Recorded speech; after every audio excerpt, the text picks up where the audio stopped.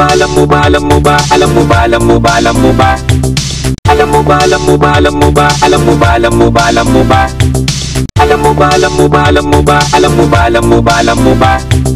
Alam mo ba, alam mo ba, alam mo ba? Magandang araw, kamusta po kayo? Ako po si Darna ang host at creator ng Buhay Tuklas. Samahan niyo po ako sa mga pagtuklas at pagpapakilala at dagdag kaalaman para sa inyong mga manunood ng YouTube video. Nais kong makapagbigay ng saya at konting kaalaman sa inyo bilang isang tagalikha. Halina't samahan niyo ako sa isa na namang pagtuklas at pagpapakilala at ating alamin ang pinagmulan. Basilica del Santo Niño ang Basilica Minore del Santo Niño de Cebu, na kilala rin bilang minor basilica ng banal na bata at ang Santo Niño Basilica, ay isang minor basilica sa Cebu City sa Pilipinas na itinatag noong 1565 ni na Fray Andres de Urdaneta at Fray Diego de Herrera. Ito ang pinakamatandang simbahang Romano-Katoliko sa bansa, na sinasabing itinayo sa lugar kung saan natagpuan ang imahe ng Santo Niño de Cebu sa panahon ng ekspedisyon ni Miguel Lopez de Legazpi. Ang imaheng ito ng Batang Jesus ay kaparehong ipinakita ni Ferdinand Magellan sa punong asawa ni Raja Humabon sa okasyon ng kanilang maharlikang binyag sa Romano Katolisismo noong ikalabing apat ng Abril taong 1521.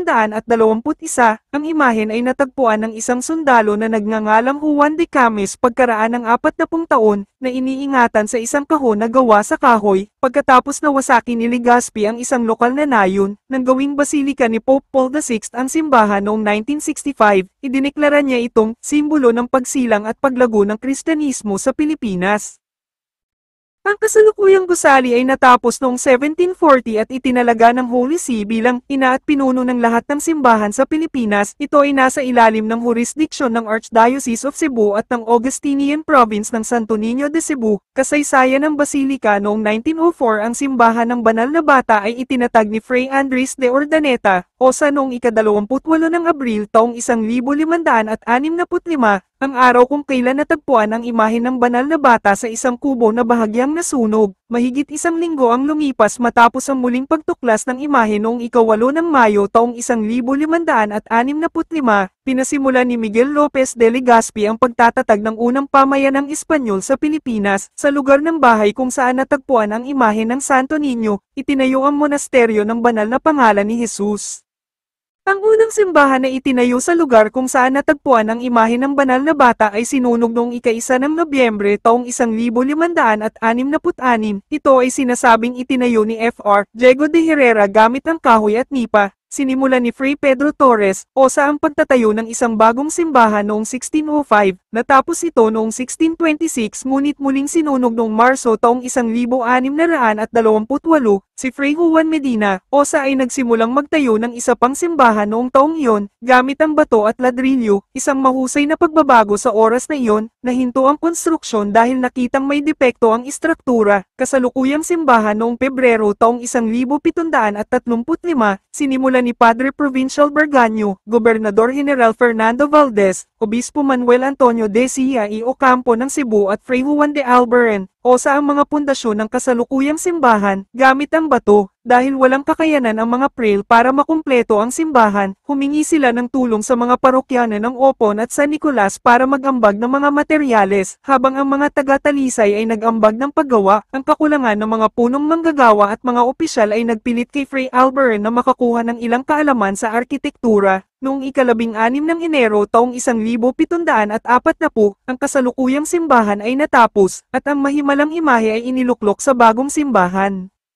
Noong 1789, ang simbahan ay sumailalim sa isang pagsasaayos. Noong 1889, nagsagawa ng panibagong pagsasaayos si Fray Mateo Diz, Osa. Ang mga orihinal na katangian ng simbahan ay pinanatili maliban sa mga bintana na idinagdag niya. Noong 1965, ang simbahan at kumbento ay sumailalim sa mas malaking pagpapanumbalik sa okasyon ng ikaapat na sentenaryo ng kristyanisasyon ng bansa. Ang facelifting ay ginawa ng may lubos na paggalang sa makasaysayang katangian ng lumang istruktura. Noong ika-isa ng Abril taong 1965, si Ildebrando Cardinal Antonucci, Papal Legate sa Pilipinas, ay iginawad sa simbahan ang karangalan na titulong Basilica Minore sa autoridad ni Pope Paul VI bilang isang minor basilica. Ito ay binibigyang prioridad kaysa sa ibang mga simbahan at iba pang mga pribilehiyo. Idineklara din ito ng Pangulong Ferdinand E. Marcos bilang pambansang landmark.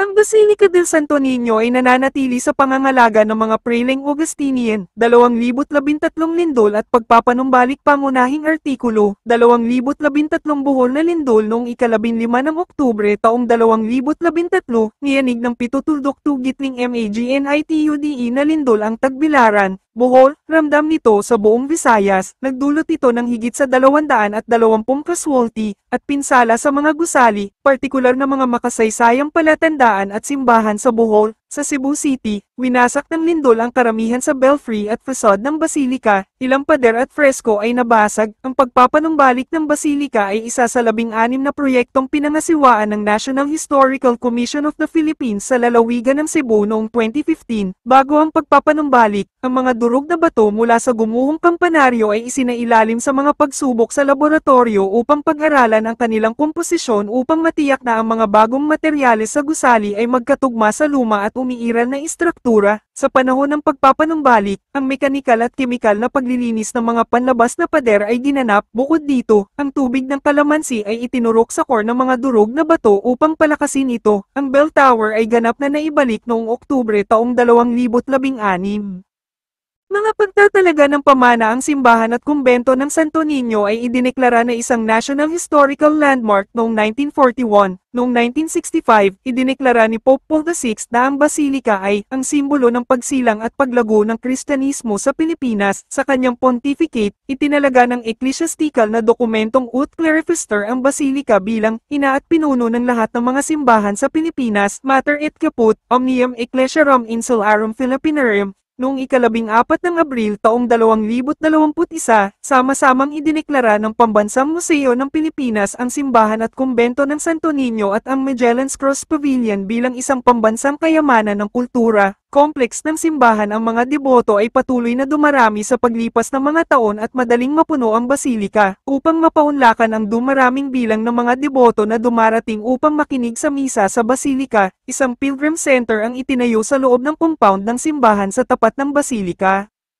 Nakumpleto noong Setyembre taong 1900 at siyam na po, ang open-air structure na ito ay kayang tumanggap ng 3,500 katao. Nasa basement ng Pilgrim Center ang Basilica del Santo Museo ng Niño. Museo ang museo ay unang itinatag noong 1965 ni Fr. Ambrosio Galindez, OSA para sa layunin ng paggunita sa ikaapat na sentenaryo ng Kristyanisasyon ng Pilipinas. Noon ay matatagpuan ito sa isang silid sa kumbento. Ang mga lumang dokumento ng simbahan na itinayo noong ikalabimpitong siglo, mga anti-gum kasangkapan sa simbahan, mga anti-gum bagay sa simbahan, ibig sabihin, chalice, altar table, Thursday Rival, at iba pa, at mga anti-gong kasuutan ng mga pari ay ipinapakita. Ang mga lumang kasuutan ng santo nakadisplay din ang Niño de Cebu na itinayo noong ikalabimpitong siglo. Ang mga labi at estatwa ng iba't ibang mga santo ay nasa exhibit din. Ang mga replika ng Santo Niño na ginagamit sa iba't ibang pilgrimages sa Pilipinas at sa ibang bansa ay ipinapakita. May mga nagdonate ng mga alahas at along laruan sa santo nakadisplay din ang Niño. Ang Basilica del Santo ang Niño Museum ay kasalukuyang matatagpuan sa basement ng Pilgrim Center, library ng Basilica del Santo Niño orihinal na para sa eksklusibong paggamit ng mga prail. Noong 2000, ang aklatan ng simbahan ay binuksan sa lahat ng seryosong non-clerical na mananaliksik. Ang koleksyon nito ay sumasaklaw sa mga paksang panrelihiyon at direlihiyosong mga disiplina kabilang ang kasaysayan, agham, filosofiya, Filipiniana, at mga periodiko.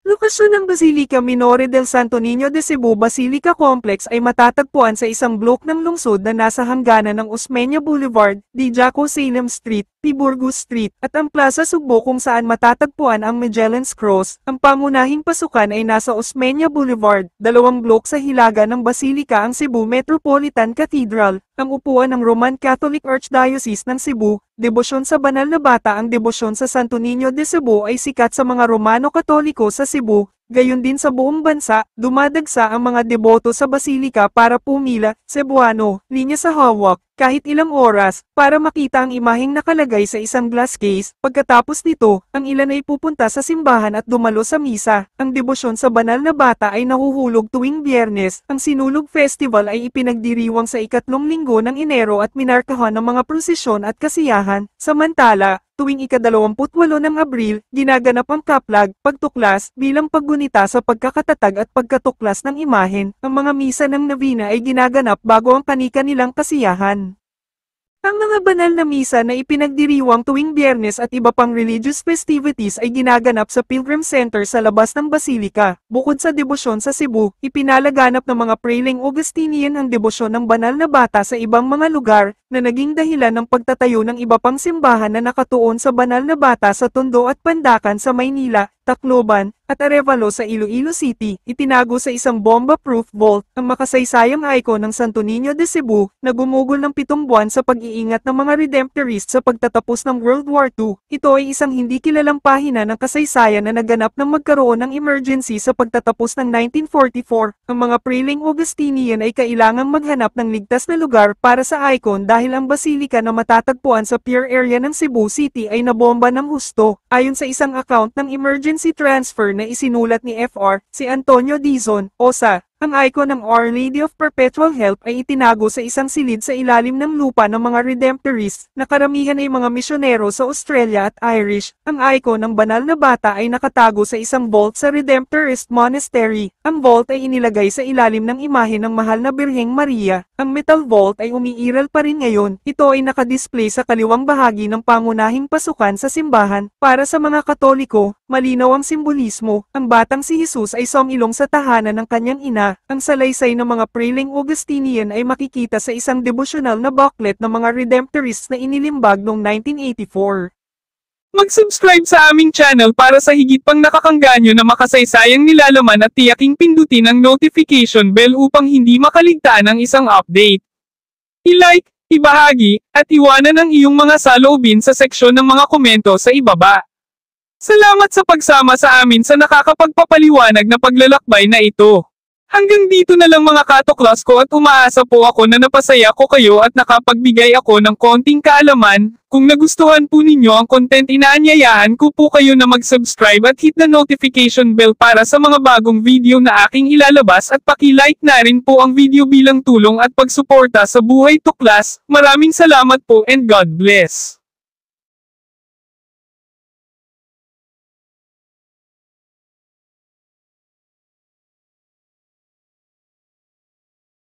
Mo ba, alam mo ba, alam mo ba, alam mo ba, alam mo ba, alam mo ba? Alam mo ba, alam mo ba, alam mo ba, alam mo ba, alam mo ba, alam mo ba? Alam mo ba, alam mo ba, alam mo ba, alam mo ba, alam mo ba, alam mo ba? Alam mo ba, alam mo ba, alam mo ba?